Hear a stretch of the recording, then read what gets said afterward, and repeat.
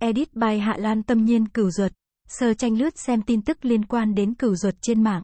Lúc còn đi học đã có thành tích xuất chúng, học bổng huy chương liên miên, sau khi tốt nghiệp thì vào tập đoàn Phồn Tinh làm việc.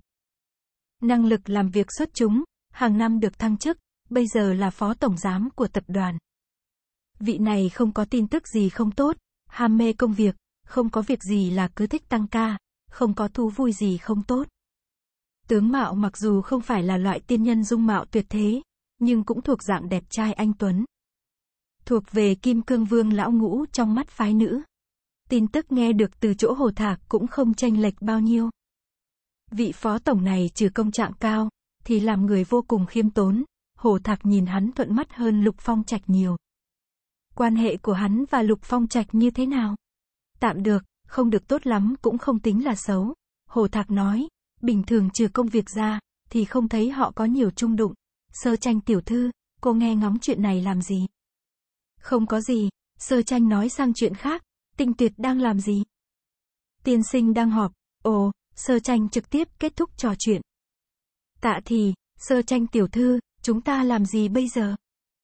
Sơ tranh nhìn tần không minh sắc mặt cực kém một chút, tìm cửu ruột, đã có một manh mối, vậy thì đương nhiên phải làm nhanh lên. Khoảng thời gian này tập đoàn Phồn Tinh bề bộn nhiều việc, lượng công việc của cửu ruột cũng lớn, ngày nào cũng gần như nửa đêm mới về tới nhà. Cửu ruột vừa về nhà thì đã cảm thấy không thích hợp. Trong nhà đều là đồ điện trí năng, hắn ta mở cửa ra thì đèn nên sáng lên mới phải, nhưng lúc này bên trong vẫn đen kịt một màu như cũ. Hỏng rồi. Cửu ruột thử dùng tay bật đèn, ấn đến mấy lần cũng không sáng. Ngay lúc cửu ruột nghi hoặc, cửa đằng sau đóng sầm lại, hắn bị người ta đẩy một cái. Ai? cừu ruột cả kinh hét lên một tiếng. Đèn trong phòng sáng lên theo thứ tự, có người ngồi trên ghế sofa trong nhà hắn. cừu ruột theo bản năng nhìn ra phía sau, một thiếu niên đứng ở phía sau hắn, đội chiếc mũ hề rất buồn cười, cười cười với hắn. Mấy người là ai? Nhà của hắn ta là do tập đoàn Phồn Tinh tự khai phá, hệ số an toàn cao đến đâu, hắn hiểu rất rõ. Họ vào bằng cách nào? Tim của cừu ruột cũng nhảy lên tận cuống họng, trên mặt cố tỏ ra chấn định, mấy người muốn cái gì? Người trên ghế sofa quay đầu nhìn qua, là một cô gái cực kỳ trẻ tuổi, dáng vẻ xinh đẹp, đôi môi màu hồng nhạt khẽ mở, người. Cừu ruột, muốn người. Muốn người gì? Sơ tranh phát hiện cừu ruột là người, không bị sống nhờ. Chuyện này không giống như Tần Không Minh nói. Tần Không Minh nói cừu ruột. Cũng là kẻ sống nhờ phi pháp. Cừu tiên sinh, ngồi xuống trước đi. Sơ tranh ngược lại giống như chủ nhân của nơi này. Chúng tôi có việc cần xác nhận với anh. Cừu ruột, cừu ruột nhìn thiếu niên đứng ở cửa ra vào một chút, lại nhìn cô gái không nhìn ra sâu cạn trên ghế sofa, ổn định tâm trạng, đi qua phía phòng khách. Hắn ta bất động thanh sắc kết nối máy truyền tin, dự định báo cảnh sát trước. Cừu tiên sinh, tín hiệu ở đây đã bị che giấu, anh không liên lạc được với ai đâu. Giọng nói lạnh lùng của cô gái giống như một chậu nước lạnh, tưới xuyên tim hắn. Cừu ruột không để ý đến che giấu, kết nối máy truyền tin, quả nhiên giống như lời cô nói. Lòng cừu ruột lại lạnh thêm một nửa. May mà lúc này xem ra đối phương còn chưa có ý định động thủ, chắc là còn có thể đàm phán. Cô gái mặt không cảm xúc nhìn hắn ta, yên tâm, tôi muốn giết chết anh thì anh cũng chạy không thoát.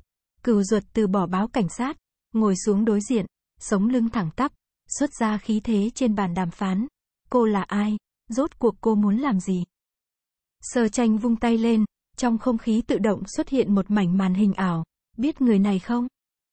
Lực chú ý của cừu ruột không ở trong màn hình, mà là động tác vừa rồi sơ tranh tùy tiện phất tay là bắn ra màn hình ảo ấy. Làm sao làm được? Một hồi lâu sau cửu ruột mới phát hiện bên cạnh cô gái có một người máy ngồi, hai tay người máy bưng mặt, đang nhìn vào hắn. Người máy này sao lại kỳ quái như thế? dáng vẻ không có gì hiếm lạ, người máy nhỏ bé hơn nó cũng có, hiếm lạ chính là chất liệu của nó. Nhìn ta làm gì nha? Giọng nói bập bẹ vang lên, nhìn hắn, có biết không hả? Cừu ruột, cừu ruột kéo căng thân thể, cảnh giác nhìn lên trên màn hình. Phía trên là tư liệu của một người. Cừu ruột, Tần Không Minh, không quen, từng nghe qua, hắn là luật sư rất nổi tiếng, lúc trước tập đoàn muốn thuê hắn, nhưng sau đó không giải quyết được. Cừu ruột nói xong, nhìn về phía sơ tranh. Cho nên, tôi có quen biết hắn hay không thì có liên quan gì? Hắn nói hắn quen biết anh. Người quen biết tôi rất nhiều, tôi không nhất định sẽ biết được tất cả. Cửu ruột nói, cô có lời gì không bằng cứ nói thẳng. Sơ tranh nhìn chằm chằm cửu ruột vài giây, quay đầu phân phó tạ thời. Dẫn tần không minh tới đây. Cửu ruột nhìn thấy thiếu niên kia liên lạc với ai đó. Rất nhanh có người đến gõ cửa. Một thiếu nữ mặc váy Lolita màu hồng đẩy một người đàn ông vào, trong tay còn cầm một con thỏ màu hồng tai dài. Người đàn ông nhìn có vẻ hơi chật vật, nếu như không phải gương mặt ấy giống như trên tư liệu, thì cửu ruột hoàn toàn không nhận ra đây là luật sư tinh anh trên tư liệu. Tần không minh có chút kinh sợ, đi vào thì dùng ánh. Mắt lộ vẻ kỳ quái dò xét xung quanh, có vẻ khá bất an. Sơ tranh chỉ vào cửu ruột, là hắn sao? Tiêu cự của tần không minh dần dần cố định trên người cửu ruột. Đúng thế, chắc chứ. Cửu ruột vừa rồi không giống như nói dối, hơn nữa hắn là người bình thường, không bị sống nhờ. Tần không minh cẩn thận nhìn thêm vài lần, vẫn gật đầu, chính là hắn, cửu ruột, cái gì mà có phải là hắn hay không chứ? Hắn làm gì rồi? Cứ không thể cho người bị hại như hắn biết một chút tình huống được sao? Sơ tranh rất nhanh giải đáp nghi vấn cho cửu ruột. Hắn nói là anh sai hắn phái người đi hại tinh xương, hả? Trên mặt cửu ruột tràn ngập khiếp sợ và ngơ ngác không ngăn chặn được. Nhị tiểu thư? Tôi hại nhị tiểu thư? Cô nói đùa gì thế? Cửu ruột để cao âm lương, trong mắt tràn ngập vẻ chấn kinh. Tôi và nhị tiểu thư không oán không thù. Tại sao tôi lại hại nhị tiểu thư? Người này tôi hoàn toàn không quen biết. Tần không minh lại một mực chắc chắn, chính là hắn. Sơ tranh trầm mặc vài giây, vẫn nhắc nhở hắn ta, hắn là người bình thường, anh nhìn cho rõ. Tần không minh sững sờ, vừa rồi hắn ta chỉ chú ý đến dáng vẻ cừu ruột, không chú ý lắm đến chuyện trên người cừu ruột không có khí tức của đồng loại. Tần không minh hơi chần chờ, đổi kiểu nói khác, chắc chắn hắn có mảnh kim loại kia, tôi, tôi không phân biệt được, nhưng tôi rất chắc chắn, chính là người này, gương mặt này hắn ta tuyệt đối sẽ không nhận sai. Sắc mặt cừu ruột khó coi, chỉ cảm thấy không hiểu nổi, tôi căn bản không quen biết cậu, lúc nãy cừu ruột căng thẳng, nhưng bây giờ càng thấy hoang đường nhiều hơn. Ánh mắt sơ tranh dao động qua lại giữa hai người, cho nên, trong hai người ai đang nói dối? Tần không minh, tôi không có, tại sao tôi phải nói dối? Tôi thật sự nhìn thấy là hắn, cửu ruột, tôi lặp lại lần nữa, tôi không biết cậu, cậu đừng có vụ oan cho người khác. Hai bên ai cũng ấn định quan điểm riêng của mình, mắt thấy sắp cãi nhau ầm lên rồi. Sơ tranh giơ tay ra hiệu hai người yên tĩnh lại trước, hắn dùng dáng vẻ này gặp anh à? Không phải, trước đó có nói, là chính hắn ta điều tra được. Mỗi lần gặp mặt người kia, đều là ở nơi rất tối, người kia che chắn rất kỹ, hoàn toàn không thấy rõ dáng dấp ra sao. Edit by Hạ Lan tâm nhiên sơ tranh, vậy sao anh xác định người kia là hắn? Tôi theo dõi nhìn thấy mà, hắn ta là nửa uy hiếp nửa dụ dỗ bị ép gia nhập, hắn ta đương nhiên phải xem xem rốt cuộc người này là ai chứ. Lúc ấy hắn ta theo dõi, kẻ trông thấy chính là người này. Sơ tranh, anh cảm thấy trong hai người họ ai đang nói dối. Michael đâm đâm tạ thời, tò mò hỏi. Em là cô gái trưởng thành rồi, phải tự mình nghĩ. Tạ thời bày biện khuôn mặt nghiêm túc, học giọng điệu của sơ tranh nói chuyện. Michael bĩu môi, anh không biết thì nói không biết đi. Tạ thời, bây giờ bên nào cũng cho là mình phải, ai biết ai mới là người nói thật. Dưới ánh mắt lạnh như băng của sơ tranh, khí thế của tần không minh yếu đi mấy phần. Tần không minh nói tận mắt nhìn thấy cũng không chính xác, mà là hắn ta theo dõi người kia, trông thấy hắn đi vào một ngôi nhà. Nhà kia vừa vặn thuộc danh nghĩa của cừu ruột, hơn nữa dáng người và hình thể đều tương đồng như cừu ruột. Cừu ruột, căn nhà này? Không phải, tần không minh nói một địa chỉ khác. Cừu ruột nghe xong lập tức phủ nhận, đã hơn nửa năm rồi tôi chưa hề qua bên đó ở. Sao cậu có thể trông thấy tôi ở bên đó được? Căn nhà kia mua sớm hơn, nhưng cách công ty khá xa. Sau khi hắn mua căn nhà này, thì không hề qua bên kia ở nữa. Vậy tôi thấy ma à? Tần không minh cũng không phục, tôi tận mắt nhìn thấy hắn mở cửa đi vào mà. Cừu ruột, cừu ruột đúng là con người hàng thật giá thật, điểm này không thể nghi ngờ. Nhưng mà lời cừu ruột và tần không minh nói đều không có vấn đề gì, không giống nói dối. Chuyện này cũng tương tự như chuyện của sói trắng kia, hai bên đều không nói dối, nhưng ở giữa xảy ra vấn đề. Sơ tranh, có ai có thể mở cửa căn nhà của anh được? Cừu ruột lắc đầu, chắc là không có ai cả, quét dọn đều sắp xếp người máy cả. Tần không minh, dù sao tôi cũng không nói dối. Người mà hắn ta trông thấy chính là giống cừu ruột. Tinh tong, chuông cửa nhà cừu ruột đột nhiên vang lên. Cừu ruột theo bản năng nhìn về phía sơ tranh, không khí trong phòng trong lúc đó trở nên hơi quỷ dị. Chuông cửa tiếp tục vang lên, không ai lên tiếng cả. Cuối cùng, sơ tranh khẽ hắt cằm, ra hiệu cừu ruột đi, mở cửa, tạ thời đứng ở ngay sau cửa, cho dù cừu ruột muốn chạy, cũng không có nhiều cơ hội lắm. Hắn ta hít sâu một hơi, mở cửa phòng. Tinh, tinh tổng. Người ngoài cửa làm cừu ruột sững sờ tại chỗ, ngài, ngài sao lại tới đây? Có phần văn kiện cần dùng, vừa vặn đi ngang qua, thuận tiện đến lấy, tinh tuyệt lãnh đạm nói, không mời tôi vào. Cừu ruột, cừu ruột. Đêm hôm khuya khoắt, văn kiện gì mà cần tinh tổng tự tới lấy vậy? Cừu ruột nhìn ra phía sau, không có. Ai, chỉ có một mình hắn. Cừu ruột đang suy nghĩ xem đóng sập cửa ngay trước mặt sếp thì tốt, hay là để sếp vào nhà cảm thụ nguy hiểm chung thì tốt hơn. Sắc mặt cừu ruột không tốt lắm, vẫn còn đứng đó bất động, tinh tuyệt giống như không vui lắm, sao đấy? Cừu ruột hít sâu một hơi, tinh tổng, tôi, tôi không tiện lắm, ngài cần văn kiện gì, tôi đi tìm đưa ra cho ngài. Tinh tuyệt không rõ ý vị nhìn hắn, thế à? Cừu ruột cảm thấy ánh mắt tinh tuyệt rất không thích hợp, bị nhìn cho toàn thân phát lạnh. Hắn ta chịu đựng khó chịu. Thật ngại quá tinh tổng. Tôi, tinh tiên sinh, mời vào bên trong. Cừu ruột vẫn chưa nói xong, thì tạ thời ở phía sau cửa trực tiếp kéo cửa ra, làm dấu tay xin mời. Tinh tuyệt từng gặp tạ thời, liếc mắt nhìn cậu ta, sau đó trực tiếp đi vào bên trong. Cừu ruột. Song song, nếu như tinh tuyệt xảy ra chuyện ở chỗ này, thì hắn phải bàn giao thế nào bây giờ? Tinh tuyệt trầm mặt đi vào bên trong, vừa liếc mắt là đã nhìn thấy cô gái ngồi trên ghế sofa, và tần không minh bị trói, chật vật ngồi dưới đất. Cảnh tượng này nhìn thế nào cũng thấy không thích hợp. Sơ tranh ngược lại rất chấn định, tại sao anh lại ở đây? Hầu kết tinh tuyệt hơi nhấp nhô, chậm rãi nói, lời này nên là anh hỏi bảo bảo mới đúng chứ. Đây là nhân viên của hắn, vì sao cô lại ở đây, còn trói cả người nữa chứ? Em hỏi ít chuyện, sơ tranh bình thản đáp, đúng lúc có liên quan đến hắn. Tinh tuyệt nhìn về phía cửu ruột, người sau lau lau mồ hôi lạnh trên trán, đáy lòng bất ổn, không biết bây giờ đang xảy ra chuyện gì. Người này quen biết tinh tổng sao? Giọng điệu của tinh tổng sao nghe có chút là lạ nhỉ? Nhưng hai người này quen nhau, cừu ruột hơi thở phào, có vẻ ít nhất sẽ không phát sinh xung đột. Sơ tranh híp mắt lại, tùy ý dò xét người đàn ông trước mặt, cho nên vì sao anh lại đến đây? Giọng điệu của tinh tuyệt rất kiên định, lấy văn kiện, sơ tranh, cần anh tự đến. Đây là việc mà một ông chủ như anh nên làm sao?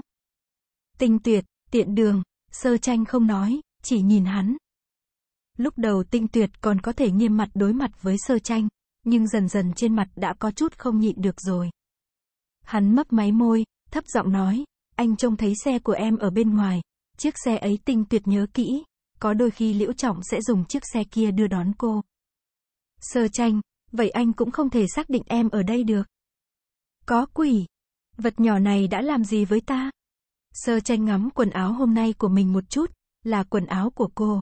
Tinh tuyệt cũng không có ý giải thích kỹ càng. Trực tiếp rời chủ đề đi. Em tìm hắn hỏi chuyện gì thế? Ánh mắt sơ tranh đi dạo trên người hắn một vòng. Lát nữa em nói cho anh biết. Anh ngồi xuống trước đi. Tinh tuyệt nhấp.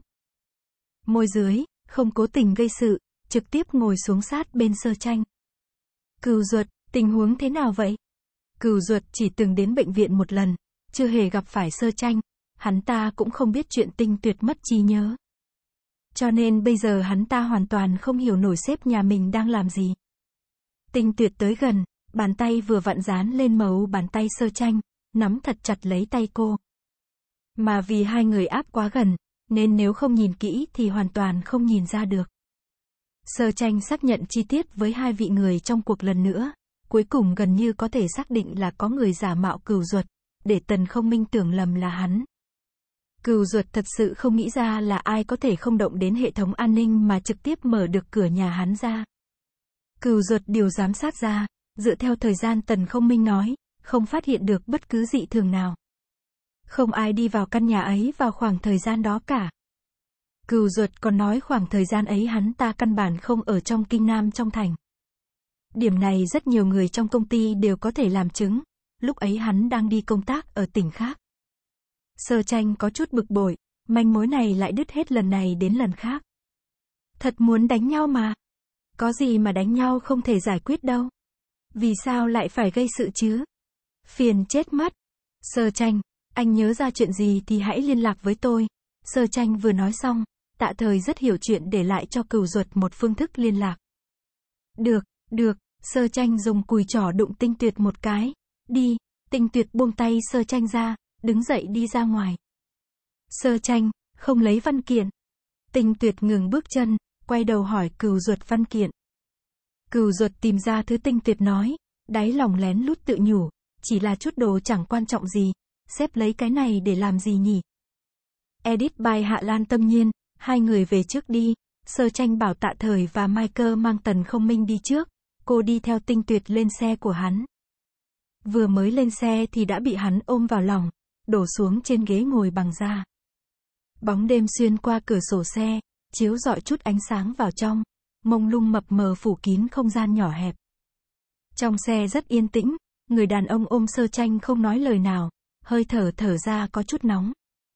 Sơ tranh tránh khỏi hắn ngồi xuống, nói đi, sao mà biết em ở trên đó?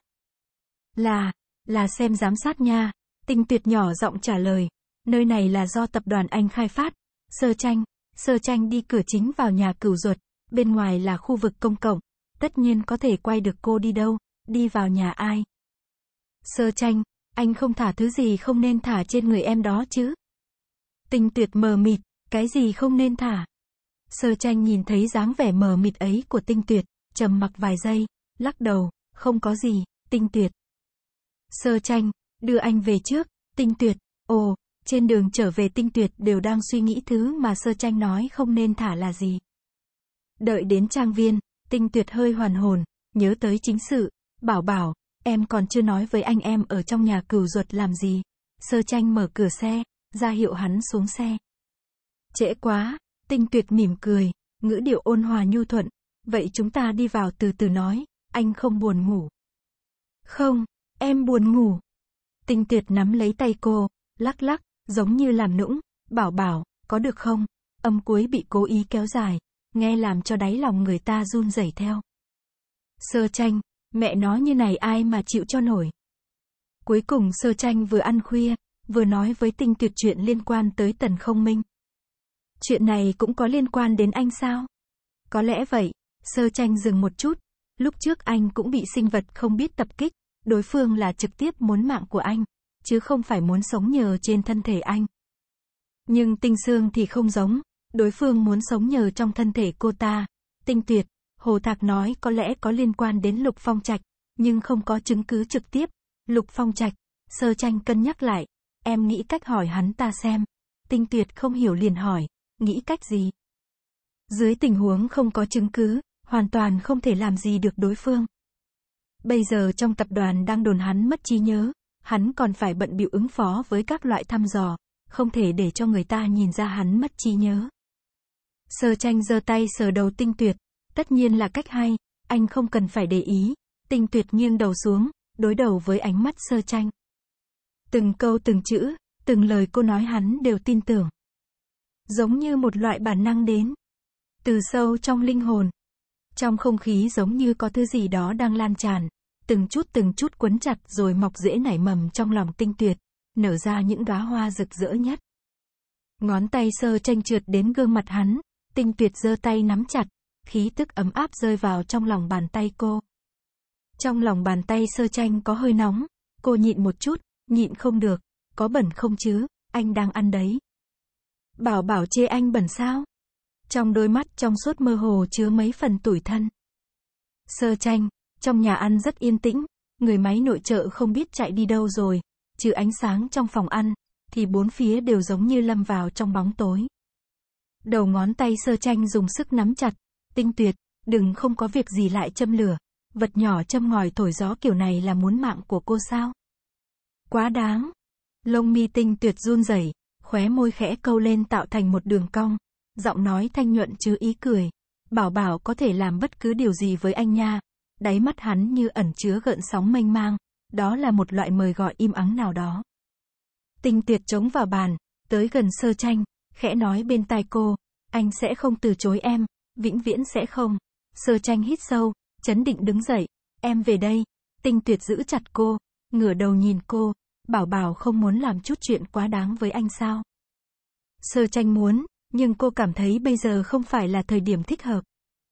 Tinh tuyệt không nhớ được gì cả. Sơ tranh rút tay về, đừng quậy, em đi trước đây. Tinh tuyệt lần nữa giữ chặt cô, trong giọng nói có chút cố chấp. Anh không quậy, nhưng em không thể đi. Bảo bảo, em xem, đã trễ lắm rồi, em về rất xa, không mệt sao? Sơ tranh, giữa lông mày xinh đẹp của tinh tuyệt nhiễm lên vẻ chờ mong và trông đợi. Anh muốn sáng mai có thể ăn sáng cùng em. Hắn dừng một chút, lại tiếp tục nói, anh chuẩn bị gian phòng cho em rồi, còn chưa dẫn em đi xem qua đâu, em đừng đi được không? Tinh tuyệt đã nói đến mức này, quả thật sơ tranh cũng không muốn giải vò nữa. Đừng quậy nha, mặt mày tinh tuyệt cong cong mỉm cười. Được, gian phòng mà tinh tuyệt chuẩn bị cho sơ tranh ở ngay sát bên phòng hắn, độ lớn không tranh nhau là mấy. Phong cách cả trình thể thiên về hướng giản lược, phối màu hết sức thoải mái. Tinh tuyệt đưa sơ tranh đến gian phòng, không dây dưa nhiều, căn dặn cô vài câu rồi rời khỏi phòng. Sơ tranh không có hứng thú gì với gian phòng, rửa mặt xong trực tiếp đi ngủ. Còn có một đống phiền phức đang chờ cô đi giải quyết đấy. Sơ tranh ngủ đến nửa đêm, cảm thấy không thích hợp, mở mắt ra thì nhìn thấy một bóng người vô thanh vô tức đứng ở bên giường. Sơ tranh chịu đựng kinh hãi không nhảy dựng lên, nheo mắt nhìn bóng người kia. Tinh, tuyệt, anh làm gì thế? Hơn nửa đêm không ngủ được, muốn hù chết ai vậy? Giọng của tinh tuyệt rất thấp, còn mang theo chút giọng mũi, bảo bảo, anh mơ thấy ác mộng, sơ tranh chỉ nghĩ một chút là hiểu ngay. Cô cũng không vạch trần hắn, chỉ nói, lên đây đi, tinh tuyệt lập tức leo lên nằm xuống, kéo chăn che nửa gương mặt lại, hai tay nắm lấy mép chăn. Sơ tranh nghiêng người ôm lấy người, hôn lên chán hắn một cái, mơ thấy ác mộng gì. Không nhớ rõ, mi nhớ được mới lạ, rõ ràng là muốn bò lên giường của ta. Thật ra không cần phải thế, nói thẳng muốn ngủ cùng ta là được, ta lại không từ chối. Sơ tranh sờ mái tóc mềm mềm của hắn, miễn cưỡng phối hợp với màn diễn của hắn. Không nhớ thì đừng cố nhớ nữa, mau ngủ đi, ừ, trong bóng đêm tinh tuyệt khẽ cong khóe môi, lộ ra một độ cong vui vẻ. Sau đó tinh tuyệt thật sự mơ thấy ác mộng. Trong mơ hắn đứng trong một thế giới rất trống trải, màu sắc xung quanh đều đang phai đi, bị bóng tối bao phủ. Mà sơ tranh cũng đang đi xa hắn, dần dần biến thành cái bóng hư ảo. Hắn muốn giữ cô lại, nhưng làm thế nào cũng không bắt được, cũng không phát ra được âm thanh nào. Loại cảm giác tuyệt vọng như sắp mất đi và bóng tối vô biên vô tận bao phủ hắn trong thế giới đó. Dù cho hắn dãy dụa thế nào cũng không thay đổi được gì cả. Có thứ gì đó đang kéo hắn chìm xuống trong bóng tối, cảm giác ngạt thở từng chút từng chút đè xuống. Tinh tuyệt bị bừng tỉnh. Hắn thở dốc từng cơn, trên trán và sau lưng bao phủ một tầng mồ hôi lạnh. Giọng nói của sơ tranh vang lên bên tai, sao thế? Bảo bảo, ừ, sơ tranh cảm giác người ôm mình đang run lên, muốn ngồi dậy, sao vậy? Tình tuyệt kéo người trở về ôm, không sao, anh không sao, ôm anh, sơ tranh. Tình tuyệt không được người bên cạnh đáp lại, trong giọng nói cũng nhiễm lên mấy phần run rẩy. Bảo bảo, ôm anh đi, sơ tranh lập tức ôm chặt người. Edit bài Hạ Lan tâm nhiên là thật. Không phải là mơ. Tình tuyệt chậm rãi thả lỏng ra. Sơ tranh chờ hắn trở lại bình thường, lúc này mới hỏi hắn, vừa rồi sao thế? Bảo bảo, em sẽ rời xa anh sao? Tại sao em lại rời xa anh? Mẹ nó ta điền rồi sao? Vất vả lắm mới lừa được tới tay. Không biết, tinh tuyệt lẩm bẩm, có lẽ là anh không tốt, có lẽ là anh chọc giận em, có lẽ, sơ tranh cắt ngang lời hắn, tinh tuyệt, anh đang nghĩ gì vậy? Anh, hắn cũng không biết. Đừng nghĩ lung tung, Sơ tranh hạ thấp giọng trấn an, em sẽ không rời xa anh. Tinh tuyệt nhấp môi dưới, đột nhiên đứng dậy xuống giường, rời khỏi phòng. Sơ tranh, làm mama gì đấy? Tinh tuyệt trở lại rất nhanh, hắn bò lên giường, một lần nữa nằm xuống, trong tay có thêm một tấm tinh phiến. Có phải chỉ cần là chuyện anh viết lên đây, em đều sẽ hoàn thành không? Sơ tranh có chút cảnh giác, nhưng vẫn gật đầu. Ừ, tinh tuyệt mở tinh phiến ra. Trên màn hình ảo dần dần có chữ viết xuất hiện. Thích anh, vĩnh viễn không thể rời xa anh. Ký tên, tình tuyệt viết xong còn bắt sơ tranh ký tên. Sơ tranh, nhanh lên nha, tình tuyệt thúc giục. Sơ tranh, sơ tranh giơ tay sờ chán hắn, anh không sốt chứ? Mất trí nhớ không có cả di chứng đấy chứ, đầu óc hỏng rồi à? Hơn nửa đêm bày trò gì thế? Mới không đâu, tinh tuyệt mượn ánh sáng nhạt nhìn cô, bảo bảo không muốn ký tên sao? Hay là lời bảo bảo nói chỉ là lừa anh? Sơ tranh, sơ tranh bị ép ký tên mình lên. Cho tới bây giờ đều chỉ có người khác ký tên cho ta. Mẹ nó mi đào đâu ra vận khí tốt thế hả?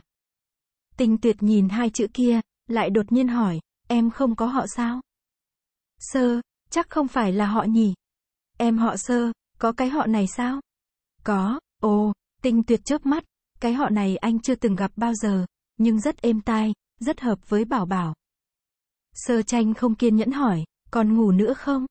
Tinh tuyệt viết tên mình lên đằng sau tên của sơ tranh, ấn lưu lại, đóng màn hình lại, rất ngoan nằm xong. Lúc này sơ tranh đã không còn buồn ngủ như trước nữa, ấn lấy người quanh quẩn ở biên giới của 404 rất lâu. Bảo bảo, sinh nhật em là ngày bao nhiêu? Giọng tinh tuyệt hơi khàn, hắn chống mặt nhìn người bên cạnh. Làm gì? Anh thân là bạn trai em, không thể đến cả điều này cũng không biết được. Tinh tuyệt nói xong còn hôn cô một cái. Anh muốn biết tất cả mọi thứ về em. Sơ tranh ấn lên chán hắn một cái. Ngày 7 tháng 7. Ngày 7 tháng 7. Vậy cách sinh nhật cô cũng chỉ còn hơn nửa tháng. Tinh tuyệt nằm suy nghĩ chuyện, không quấy sơ tranh nữa. Hai người lại ngủ thêm một lát, sau đó dậy cùng nhau ăn sáng.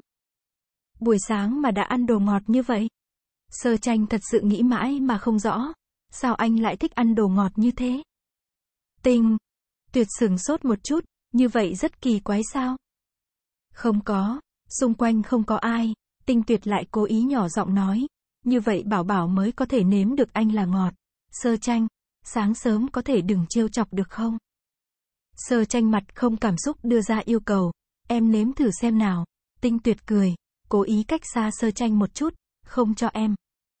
Cuối cùng tinh tuyệt vẫn bị nếm toàn bộ, phòng ăn đánh dấu hoàn thành. Tinh tuyệt cúi đầu ăn sáng, môi và gương mặt đều ửng đỏ, thỉnh thoảng liếc mắt qua nhìn trộm sơ tranh sắc mặt lãnh đạm giống như chưa từng xảy ra chuyện gì. Nhìn cái gì? Tinh tuyệt bị sơ tranh bắt được, hắn không liếc trộm nữa, quang minh chính đại nhìn cô, bảo bảo thật đẹp, không thể nhìn sao. Sơ tranh lạnh lùng nhắc nhở, anh sắp trễ giờ rồi, tinh tuyệt. Tinh tuyệt cấp tốc giải quyết xong bữa sáng, vô cùng vội vàng đi làm.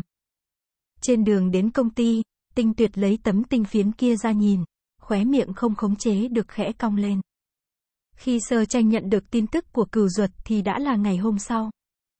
Cừu ruột nói hắn nhớ ra một chuyện, căn nhà kia của hắn còn một người có thể biết mật mã. Ai? Lục Tổng Giám, Lục Phong Trạch, lúc trước khi hắn còn ở bên kia, có lần có thứ cần dùng rơi ở bên đó. Bởi vì cần dùng gấp, đúng lúc Lục Phong Trạch đang ở gần đó, nên hắn đã nhờ Lục Phong Trạch đi lấy dùm. Sau đó không bao lâu thì hắn rời đến bên này, cho nên mật mã chưa từng thay đổi. Ngày hôm nay lúc làm việc, trông thấy Lục Phong Trạch, hắn đột nhiên nhớ lại. Sơ tranh cúp máy truyền tin, như có điều suy nghĩ nhìn tư liệu về Lục Phong Trạch. Lục Phong Trạch, rốt cuộc người này đóng vai trò là loại nhân vật gì đây? Tinh Sương, gần đây cô làm gì thế? Cả ngày làm thần long thấy đuôi không thấy đầu, bây giờ chúng tôi tìm cô cũng không tìm được, hôm nay cô lại đi một mình, không mang người à? Ly kỳ nha, hôm nay mặt trời mọc bên nào thế? Trước kia vị này có mặt ở loại trường hợp này, có lần nào mà đi một mình? Bên cạnh luôn có đủ loại bạn trai với đủ kiểu sắc thái hình dạng, nói không chừng lúc đi về, người dẫn theo còn không phải là người khi đến kia. Cho nên lúc này tinh xương lẻ loi trơ trọi xuất hiện một mình, đám chị em của cô ta đều sợ ngây người. Tinh xương nhìn đám chị em đã lâu không gặp, thở dài, dưỡng sinh, dưỡng sinh. Đám chị em bị chọc cho cười không ngừng. Cô là nữ thần ban đêm cơ mà, dưỡng sinh cái gì? Không phải làm ra mạng người rồi chứ? Ánh mắt đám chị em rơi vào bụng tinh xương. Thôi đi, tinh xương tức giận chừng đám chị em một chút, trực tiếp đi vào bên trong cuộc yến hội. Trong phòng yến hội đèn đuốc sáng trưng, đám người áo quần xinh đẹp cười cười nói nói. Náo nhiệt vô cùng. Anh, tinh sương nhìn thấy tinh tuyệt, đi qua lên tiếng chào. Ừ, tinh tuyệt khẽ gật đầu, vẫn là thái độ lãnh lãnh đạm đạm ấy. Người chị em có quan hệ với tinh sương tốt nhất đuổi theo. Tinh sương cô đi nhanh như vậy làm gì? Tinh tổng, nhìn thấy tinh tuyệt, lại vội vàng chỉnh lý dáng vẻ, đột nhiên trở nên xấu hổ ngại ngùng. Tinh tuyệt gật đầu, không có ý nói chuyện nhiều, trực tiếp đi sang bên cạnh. Người chị em vẻ mặt thất vọng nhìn qua, thật lâu sau vẫn không thể thu tầm mắt lại. Cô ta túm lấy Tinh Sương hỏi, Tinh Sương, cô nói xem tôi phải làm thế nào mới có thể làm chị dâu cô đây? Tinh Sương đã sớm biết người chị em này thích Tinh Tuyệt. Trước kia còn không có cảm giác gì, nhưng mà, cô nằm mơ tương đối nhanh. Tinh Sương nể tình trước đây chơi bời chung với nhau, nhắc nhở cô ta, bên cạnh anh tôi có con cọp cái, nếu cô không muốn chết thì dừng suy nghĩ này lại đi, cọp cái. Vẻ mặt người chị em ngơ ngác, mạch não cũng không biết chuyển kiểu gì, đột nhiên tung ra một câu, anh cô nuôi hổ à. Tinh Sương, cũng không trách mạch não của cô ta kỳ hoa như thế, chủ yếu là trước kia bên cạnh tinh tuyệt chưa từng có phụ nữ, cũng không có tai tiếng gì. Tinh Sương thoáng liếc mắt qua nhìn thấy gì đó, lôi kéo người chị em của mình chuyển phương hướng chỉ cho cô ta xem, thấy không, cọp cái, người chị em. Lần này người chị em không lĩnh ngộ sai, mà như sấm đánh, giọng nói cũng run run, anh của cô, yêu đương rồi. Hay là anh cô gì gia tộc ép liên hôn? tình Sương lắc lắc cô ta, tỉnh lại đi, nhà tôi cần liên hôn gia tộc chắc. Người chị em. Chấm chấm ngoặc kép. Edit bài Hạ Lan tâm nhiên tinh ra là dạng ra thế gì? Quả thật không cần liên hôn. Hơn nữa cũng chưa từng nghe nói tinh gia có truyền thống liên hôn. Tinh Sương buông người chị em không cách nào suy nghĩ nổi nữa ra, sờ cầm làm ra vẻ suy tư, không đúng, cô ta tới đây làm gì? Tinh Sương đột nhiên cảm thấy xung quanh hơi lạnh, không phải ở đây có ma đấy chứ. Tinh Sương càng nghĩ càng thấy lạnh, giống như có thứ gì đó đang thổi hơi lạnh vào người cô ta vậy. Cỗ hơi lạnh kia thổi cho sau lưng cô ta lạnh cứng lại, tứ chi giống như bị cố định, không thể động đậy. Trong đầu tinh xương lập tức phun lên đủ loại thứ ly kỳ cổ quái. Cô ta không xui xẻo như vậy chứ, tinh xương, cô đứng đây làm gì? Có người vỗ bả vai tinh xương, cô rất nóng sao? Tinh xương, tinh xương đột nhiên trở lại nhân gian, cô ta quay đầu nhìn lại, nhìn thấy máy lạnh ở ngay đằng sau, cô ta đứng ngay nơi hơi lạnh phun vào, có thể không lạnh được sao? Mẹ, cô ta sắp bị cọp cái kia làm ra bệnh tâm thần rồi. Tinh Sương nhìn vào trong đám người, làm gì còn thấy tung tích của cô gái kia nữa. Một bên khác, Tinh Tuyệt đang nói chuyện với người khác người khác nói, hắn phụ trách bưng giá đỡ nghe. Tinh Tổng, Lục Phong Trạch giơ tay chào hỏi, nụ cười trên mặt lại có mấy phần chân thành. Tinh Tuyệt ngờ vực nhìn hắn ta vài lần, bất động thanh sắc gật đầu. Nụ cười của Lục Phong Trạch càng sán lạn hơn, hắn ta đột nhiên nói với người bên cạnh, ngài và tinh tổng cũng đều biết nhau cả rồi, vậy thì tôi không giới thiệu lại nữa. Gương mặt của người bên cạnh Lục Phong Trạch cực kỳ lạ lẫm. Đáy lòng tinh tuyệt lập tức hơi lột bột. Trong số những tư liệu hắn nhận được không có người này, người kia gật đầu, trực tiếp vươn tay. Tinh tổng, đã lâu không gặp, chuyện lần trước ngài nói với tôi, sau khi suy nghĩ kỹ lại, tôi cảm thấy cũng không tệ lắm, chúng ta có thể bàn bạc sâu hơn. Tinh tuyệt, ông này là ai vậy? Trong danh sách mà Hồ Thạc cho hắn xem, căn bản không có người này. Lục Phong Trạch giống như cười mà không phải cười liếc hắn một cái, lại vô cùng chân thành nói, tinh tổng. Sao thế? Tinh tuyệt, Lục Phong Trạch không có ý tốt, cố ý tìm một người như vậy đến, đó là người hắn nhất định có quen biết, lại tuyệt đối không thể không nhận ra. Bây giờ nếu như hắn không nhận ra, tinh tuyệt hơi siết chặt bàn tay đang buông thõng, đang muốn bắt tay đối phương, đột nhiên cánh tay trầm xuống, bị người ta nắm lại. Thôi tiên sinh, đã lâu không gặp, giọng nói thanh lãnh của cô gái vang lên bên tai hắn, cánh tay trắng thuần đưa tới, bắt tay với đối phương, lại nhanh chóng buông ra. Sự kinh ngạc trong mắt tinh tuyệt không che giấu được, trực tiếp nhìn về cô gái bên. Cạnh. Sơ tranh tiểu thư, đối phương hơi kinh ngạc, ánh mắt dừng lại trên cánh tay cô đang nắm lấy tay người đàn ông, một hồi lâu sau mới hoàn hồn, mang theo chút cẩn trọng. Đã lâu không gặp, sắc mặt Lục Phong Trạch cứng lại. Cô gái này là ai vậy? Sao lại thấy? Lục Phong Trạch bỗng nhiên nhớ tới, lần trước ở cửa bệnh viện, hình như hắn ta từng thấy người này rồi. Cô và Tinh Tuyệt có quan hệ thế nào? Người đàn ông kia cũng tò mò, trần chờ hỏi, sơ tranh tiểu thư, ngài và Tinh Tổng đây là, sơ tranh cũng không có ý che giấu, nói thẳng, bạn trai, ồ, hà. Người đàn ông đầu tiên là bừng tỉnh đại ngộ, sau đó lại bị kinh sợ. Tinh tuyệt cố gắng nhịn xuống khóe miệng muốn nhếch lên. Mặt lục phong trạch thì y như gặp phải ma, hắn lấy đâu ra bạn gái. Thôi chấp, công ty khoa học kỹ thuật sinh vật Hạo vũ, sơ tranh giống như ôm chặt cánh tay tinh tuyệt, nhích lại gần phía hắn, thấp giọng nói, có ấn tượng không? Thôi chấp thì tinh tuyệt không biết, nhưng công ty khoa học kỹ thuật sinh vật Hạo vũ thì hắn biết. Hồ Thạc đã từng nói, họ có một hạng mục muốn hợp tác với công ty khoa học kỹ thuật sinh vật Hạo Vũ, hắn từng xem qua một chút tài liệu. Có sơ tranh nhắc nhở, tăng thêm những tài liệu hắn từng xem, trong lòng rất nhanh đã có chút sơ bộ. Nói chuyện với Thôi Chấp, cũng không lộ ra nửa phần bối rối. Chỗ mấu chốt, tinh tuyệt nghĩ cách mơ hồ cho qua.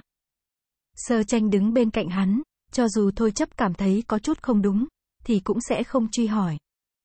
Hai bên trò chuyện vui vẻ, Lục Phong Trạch bị không để ý tới, đi cũng không được, không đi cũng không xong. Thôi chấp vốn sẽ không xuất hiện trên yến hội ngày hôm nay, là hắn ta vất vả lắm mới nghĩ cách mời tới được. Thôi chấp này ngày thường không hoạt động trong kinh Nam Thành, nhưng hắn và tinh tuyệt lại tuyệt đối có quen biết nhau. Hôm nay Hồ Thạc bị chuyện khác ngăn trở, sẽ không đi cùng hắn. Chỉ cần hắn không biết thôi chấp, vậy thì chuyện sẽ dễ làm rồi. Nhưng hắn ta không nghĩ tới, nửa đường lại có một trình rào kim nhảy ra, phá hư chuyện của hắn ta. Thôi chấp trò chuyện với tinh tuyệt xong, lại hẹn một thời gian trò chuyện tường tận hơn, kết thúc cuộc nói chuyện, đi sang bên cạnh. Trước khi đi còn rất cẩn thận nói với sơ tranh mấy câu. Chờ người đi xa, Lục Phong Trạch không nhịn được lên tiếng, tinh tổng, ngài có bạn gái từ lúc nào vậy? Vì sao hắn ta không nghe thấy chút tiếng gió nào cả? Người phụ nữ này có lai lịch gì, mà thái độ của Thôi chấp đối với cô lại cẩn trọng như vậy? Tinh tuyệt hờ hững nói, đây là chuyện riêng của tôi, không đến phiên lục tổng giám xen vào chứ. Lục phong trạch kéo khóe miệng, giọng điệu lo lắng, tinh tổng, tôi chỉ sợ ngài bị lừa, tinh tuyệt. Lục tổng giám nên quan tâm đến mình thì tốt hơn, tinh tuyệt kéo sơ tranh rời đi. Lục phong trạch ở lại chỗ đó, sắc mặt dần dần trở nên xanh xám. Chắc chắn tinh tuyệt mất trí nhớ. Nhưng hắn ta không cách nào chứng minh được, hôm nay suýt chút nữa thì đã. Tại sao bảo bảo lại ở chỗ này? Tinh tuyệt đưa lưng về phía những người khác, biểu cảm nghiêm túc trên mặt lập tức không duy trì được nữa. Nhịn không được nở nụ cười. Vừa rồi suýt nữa thì lộ tẩy. Cũng may bảo bảo tới. Quả nhiên bảo bảo là vận may của anh. Sơ tranh không thèm đếm xỉa đến những lời vớ vẩn của tinh tuyệt. Hồ Thạc không cho anh toàn bộ tư liệu, sao lại dám thả anh ra ngoài? Đại tổng quản kia muốn nghỉ việc sao? Tinh tuyệt câu lấy ngón tay sơ tranh, người kia không ở trong danh sách, chắc là do Lục Phong Trạch làm ra. Trên danh sách Hồ Thạc cường điệu vòng ra, người mà hắn chắc chắn quen biết, hắn đều đã tỉ mỉ xem qua. Tuyệt đối không người họ thôi kia. Lục Phong Trạch, ánh mắt sơ tranh hơi đổi, giúp em một việc, được, tinh tuyệt cũng không hỏi giúp cái gì, mà trực tiếp đồng ý ngay. Sơ tranh, không hỏi là chuyện gì? Tinh tuyệt chớp chớp mắt, lông mi như cánh bướm khẽ run rẩy, trong mắt tràn đầy sự nghiêm túc, chuyện bảo bảo muốn anh làm, anh đều sẽ làm. Cho dù bây giờ bảo bảo muốn ức hiếp anh cũng được nha. Sơ tranh, sơ tranh chịu đựng xúc động tát một cái qua, tiến đến bên tai hắn nói nhỏ hai câu. Nói xong thuận tiện hôn lên mặt hắn một cái. Tinh tuyệt chỉ vào khóe môi, bảo bảo, ở đây, sơ tranh mít hắn một cái, đừng quẩy, tinh tuyệt thất vọng, được rồi, vậy anh đi đây, tinh tuyệt đi vài bước, lại quay lại, nhìn nhìn sơ tranh, càng thất vọng hơn. Sơ tranh bị hắn nhìn đến không hiểu thấu, sao thế? Tinh tuyệt, sớm biết bảo bảo sẽ tới, thì anh đã đưa quần áo cho em rồi, chúng ta mặc cũng không giống nhau. Đó không phải là nói nhảm sao, giới tính của chúng ta đã không giống nhau rồi. Dường như tinh tuyệt lại nghĩ ra được một ý kiến hay, con ngươi sáng lấp lánh, lần sau anh sẽ chuẩn bị sẵn quần áo trong xe. Tinh tuyệt nói xong cũng đi, rõ ràng bị chủ ý của mình lấy lòng, nhìn rất là vui vẻ. Đầu óc vật nhỏ thật sự không có vấn đề sao? Hồ Thạc đã làm kiểm tra toàn thân cho hắn chưa? Cô có cần đăng ký cho hắn một suất kiểm tra xem không? Edit bài Hạ Lan tâm nhiên Lục Phong Trạch đẩy cửa phòng nghỉ ra, thấy tinh tuyệt ở bên trong, con người híp híp, đóng cửa lại đi vào. Tinh Tổng, ngài tìm tôi có chuyện gì không? Lúc này tinh tuyệt tìm hắn, nghĩ thế nào cũng thấy quái lạ. Vào ngồi đi, tinh tuyệt hất cằm. Ánh mắt Lục Phong Trạch tuần sát một vòng quanh gian phòng, đi đến đối diện tinh tuyệt ngồi xuống. Tinh Tổng, ngài có chỉ thị gì à? Tôi không có. Tư thế ngồi của tinh tuyệt rất đoan chính, trên gương mặt lạnh lùng của hắn đột nhiên xuất hiện một nụ cười. Nhưng bảo bảo nhà tôi có. Lục Phong Trạch không thể không thừa nhận. Gương mặt của tinh tuyệt rất lóa mắt. Những cô gái trong công ty đều rất mê gương mặt của hắn. Nhưng tinh tuyệt ở công ty luôn luôn nghiêm khắc khó gần. Cho dù cười cũng là loại cười lạnh mang theo sát khí. Nhưng mà nụ cười vừa rồi của hắn nhìn thế nào cũng thấy rất dịu dàng. Kiểu xưng hô như bảo bảo cũng quá mức thân mật rồi. Lục Phong Trạch ngăn chặn sự quái dị trong lòng. Tinh Tổng, bảo bảo nhà ngài là. Tinh Tuyệt đã thu liễm ý cười, khôi phục dáng vẻ lạnh lùng. Hắn nhìn ra phía sau Lục Phong Trạch. Lục Phong Trạch theo bản năng quay đầu, đằng sau có cái bình phong. Trên bình phong mơ hồ có một bóng người tinh tế. Bóng người trên bình phong chậm rãi di động, di chuyển từ phía sau ra. Con người Lục Phong Trạch hơi co lại, là cô. Là cô gái vừa rồi đứng bên cạnh tinh tuyệt. Rất bất ngờ. Sơ tranh hai tay đút túi đứng ở bên cạnh, biết tôi. Lục Phong Trạch đã thu liễm đi dáng vẻ kinh ngạc. Không biết, vừa rồi cô đi cùng tinh tổng nhà chúng tôi, tôi cảm thấy rất bất ngờ thôi. Dù sao tinh tổng nhà chúng tôi cho đến bây giờ cũng chưa từng có bạn gái, bên cạnh cũng không có người phụ nữ nào, không biết tiểu thư quen biết tinh tổng như thế nào vậy. Sơ tranh hỏi một câu không liên quan, anh họ gì? Câu hỏi này của sơ tranh làm cho Lục Phong Trạch trở tay không kịp, hoàn toàn không nằm trong dự đoán của hắn ta. Một hồi lâu sau hắn ta mới nói, Lục, sơ tranh, vậy anh quản nhiều như vậy làm gì? Tôi còn tưởng anh họ tinh cơ đấy, tinh tuyệt có kiểu bạn gái gì, đều là chuyện riêng của hắn. Lục Phong Trạch nhìn sang phía tinh tuyệt một chút, người sau đang chuyên chú nhìn cô gái kia, ngay cả cái liếc mắt cũng chẳng thèm chia cho hắn ta. Là tôi lắm mồm, Lục Phong Trạch còn rất lễ phép, vậy không biết vị tiểu thư này tìm tôi có chuyện gì? Tinh tuyệt gọi hắn ta đến, cũng là vì cô, hắn nghe lời cô như thế sao? Muốn hỏi anh chút chuyện, sơ tranh đi tới cửa, trực tiếp khóa trái cửa lại. Lục Phong Trạch nhíu mày, đáy lòng mơ hồ có chút bất an. Tiểu thư muốn hỏi chuyện gì? Sơ tranh chuyển về trong phòng, ngồi trên thành ghế bên cạnh tinh tuyệt, anh biết tần. Không minh không? Lục Phong Trạch, Tần Không Minh. Ai? Phản ứng của Lục Phong Trạch giống như chỉ đang nghe thấy tên của một người xa lạ, hoàn toàn không quen biết. Vừa rồi sơ tranh đã nhìn qua Lục Phong Trạch, hắn ta là người, không phải bị sống nhờ. Đổi câu hỏi khác, là anh sai khiến làm hại tinh xương sao? Lục Phong Trạch giống như nghe thấy trò cười, cô đang nói gì vậy? Nhị tiểu thư đang rất khỏe mạnh, ai làm hại cô ấy? Phải không? Sống lưng Lục Phong Trạch thẳng tắp, tôi không biết tại sao cô lại hỏi như vậy, nhưng tôi tuyệt đối không sai ai làm hại nhị tiểu thư cả.